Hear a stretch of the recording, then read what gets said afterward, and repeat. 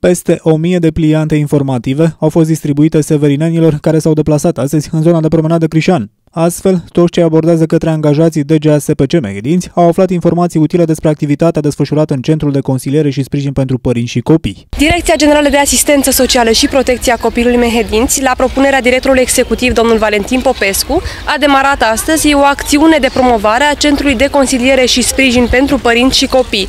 Acest centru își desfășoară activitatea în cadrul complexului de servicii sociale pentru copilul preșcolar din Drobeta Turnul Severin.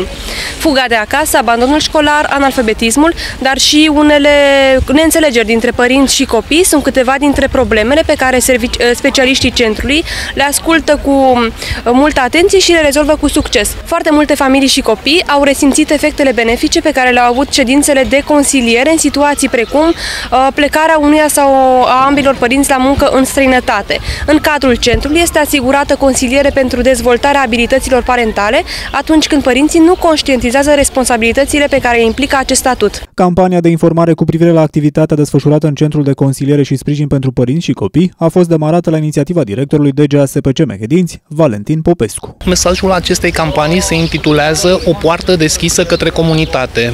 Domnul director executiv al Direcției Generale de Asistență Socială și Protecția Copilului, domnul Valentin Popescu, dorește ca acțiunea desfășurată astăzi să faciliteze accesul la Centrul de Consiliere și Sprijin pentru Părinți și Copii. Părinții care apelează la consiliere de specialitate pot afla care sunt factorii ce pun în pericol sănătatea, securitatea și dezvoltarea morală a copilului. În felul acesta se poate crea un ambient familial plăcut.